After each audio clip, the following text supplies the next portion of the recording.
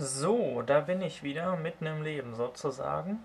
Und ähm, ich habe euch hier was vorbereitet, nämlich ein neues Video zur Aussprache des modernen Hochchinesischen. Und ähm, bevor ich zu den Anlauten, den Auslauten komme und deren individuellen ähm, Aussprache, wollte ich erstmal auf die Tonhöhen eingehen. Die hatte ich im ähm, Einführungsvideo ja schon angesprochen. Und ähm, ich wollte jetzt nochmal ähm, Besonderheiten, nämlich das Ton Sandi, ansprechen. Okay, ähm, also, das Ganze heißt die Tonhöhen im modernen Hochchinesisch. Punkt 1, Ton Sandi. Es gibt auch nur einen Punkt. Ähm, gut. Manche Zeichen oder Silben ändern in bestimmten Fällen ihre Tonhöhe. Man bezeichnet dies als Tonsandi. Der Begriff Sandi kommt aus dem Sanskrit und äh, das bedeutet eigentlich ähm, ja eine, eine Ablautung oder eine Abschwächung.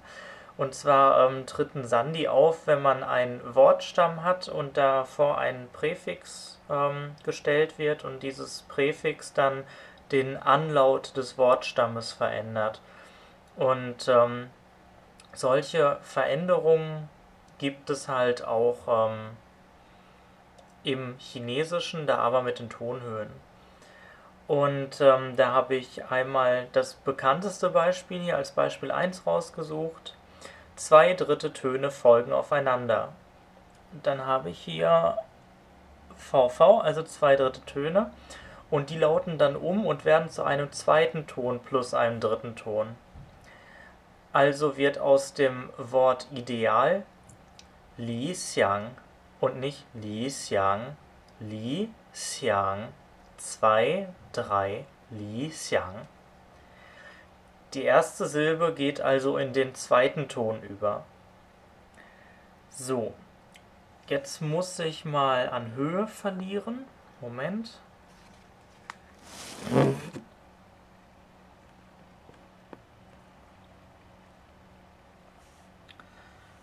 Gut, ähm, die erste Silbe geht in den zweiten so, so äh, Ton.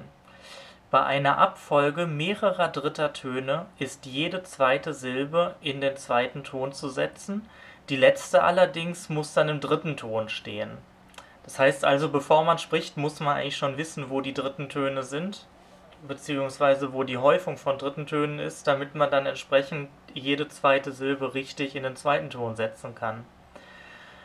Ähm, ich habe da mal ein Beispiel gemacht aus einer Abfolge von vier dritten Tönen.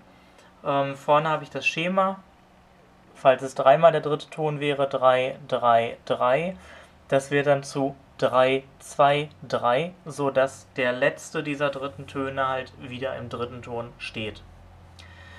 Und ähm, dann habe ich hier hinter einen Satz, dessen erste vier Zeichen Ohr Xiang, Mai und Bi ähm, alle jeweils im dritten sind. Und wenn wir dann davon ausgehen, dass der letzte Ton dieser Reihe im dritten Ton bleiben muss, also Bi, dann wird der da vorhergehende in den zweiten gesetzt, Mai. Der davorstehende bleibt im dritten, ist Xiang.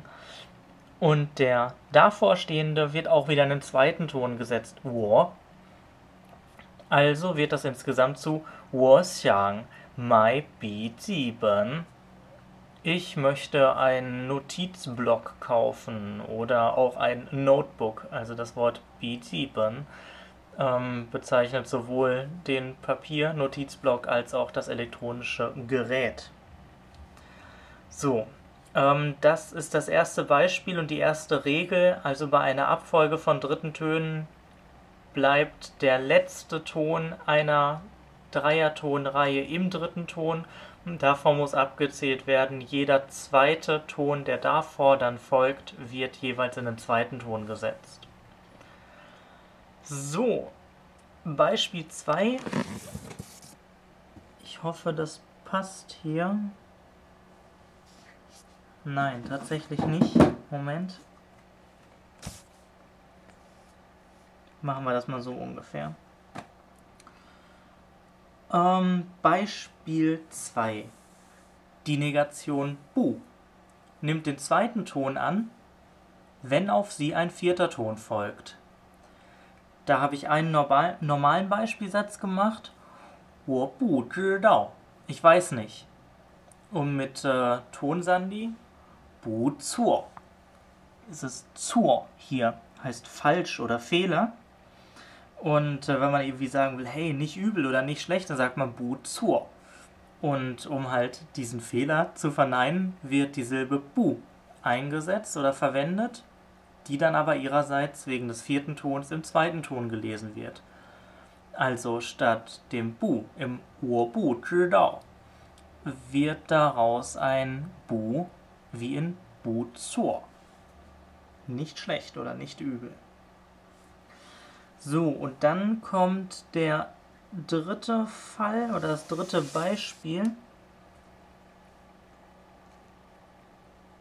Oh, wunderbar. Das kann ich sogar so ablegen. Ähm, das ist das Zahlwort 1 und das ist ein bisschen komplexer. Ähm, das Zahlwort für 1, i, ändert seine Tonhöhe nach Kontext. Beim Zählen und als Ordinalzahl wird es im ersten Ton gele gelesen. Wenn ich zum Beispiel sage äh, 1, 2, 3, i, er, san. Oder wenn ich sagen will, das erste Mal, die, i, zi. Das erste Mal. Okay.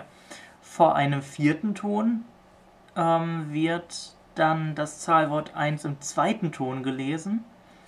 Da haben wir hier ähm, das Zählwort Liang für Fahrzeuge und hier das Zählwort Quai für so kleine Brocken oder Stückchen oder für Münzen. Und ähm, da jeweils die Beispiele i liang qi che oder i kuai qian. Also erstes, äh, i liang qi che ist ein Auto. Liang ist das Zähleinheitswort für Fahrzeuge und äh, qi che das Auto. Und äh, danach i kuai qian, das ist halt so ein Kuai. Quai ist die umgangssprachliche Bezeichnung für ähm, den Yuan, also die chinesische Währung. Das ist dann so, so eine Mark in Anführungsstrichen. Oder, oh, Entschuldigung, politisch inkorrekt, ein Euro. Ähm, also i Quai Qian ist halt so ein Quai oder ein Yuan. So. Und dann gibt es noch den sogenannten jeden anderen Fall. Das ist, äh, wenn nicht gezählt wird und wenn die dann nachfolgende Silbe nicht im vierten Ton steht. Das heißt also, die nachfolgende Silbe ist äh, entweder im ersten, im zweiten oder im dritten Ton. Ähm, dann wird das Zahlwort 1 im vierten Ton gelesen. Da habe ich ähm, zwei Beispiele gemacht und ein drittes Beispiel, das irgendwie falsch ist. Da wollte ich nur besonders cool sein und eine Redewendung einbringen, aber habe es irgendwie voll verbauert. Äh, machen wir erstmal die richtigen Beispiele. Ichi, Ichi, das heißt äh, zusammen oder gemeinsam. Und äh, das Chi steht im dritten Ton und deswegen wird das Zahlwort für eins im vierten gelesen. I, Chi. So, ähm, dann haben wir hier noch einen Fall, auch mit einem dritten Ton dahinter, aber ich hätte auch jeden anderen außer dem vierten nehmen können. Ähm, ein Buch. I Ben Shu. I Ben Shu.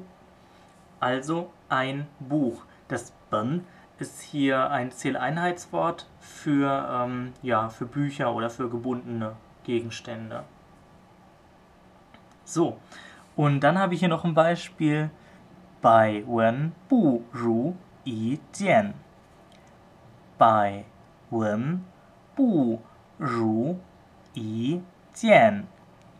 Ähm, wie wir sehen, ist es Tian hier im vierten Ton. Das heißt also, das davor stehende Zahlwort 1 wird im zweiten Ton gelesen, Yi. Und wir haben dann hier noch ähm, die Negations, äh, das Zeichen zur Negation Bu. Das äh, steht hier vor einem zweiten Ton, Ru, Ru, und ähm, macht deshalb kein Tonsandi mit. Das heißt also, wir haben hier tatsächlich Bu im vierten und dahinter Ru im zweiten. Ähm, genau.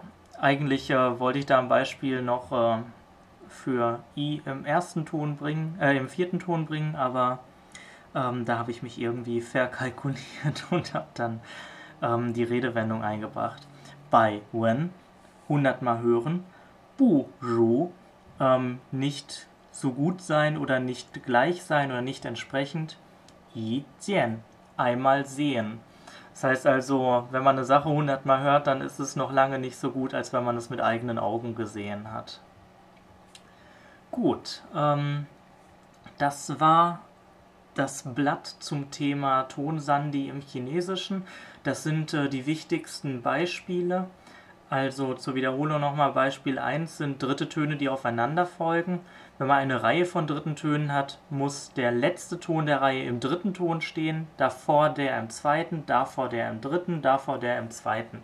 Also immer so, dass eine Reihe im dritten Ton abgeschlossen wird, aber davor jede zweite Silbe den zweiten Ton annimmt, wenn sie ursprünglich den dritten Ton hatte. Ähm, das zweite Beispiel ist das ähm, Zeichen Bu zur Negation, das ja sehr häufig verwendet wird, weil es äh, Verben und Adjektive negativiert. Und ähm, das nimmt den zweiten Ton an, wenn darauf ein vierter Ton folgt. Und das dritte Beispiel ist das Zahlwort für die Zahl 1, i, das ähm, entweder im ersten im zweiten oder im vierten Ton gelesen wird. Im ersten beim Zählen oder bei Ordinalzahlen. Im vierten Ton, ähm, wenn davor irgendein belieb äh, wenn dahinter irgendein beliebiger Ton steht. Oder im zweiten Ton, wenn darauf ein vierter Ton folgt. So viel zum Thema Tonsandi im Chinesischen. Ähm, ich mache dann demnächst mal weiter mit äh, Anlauten.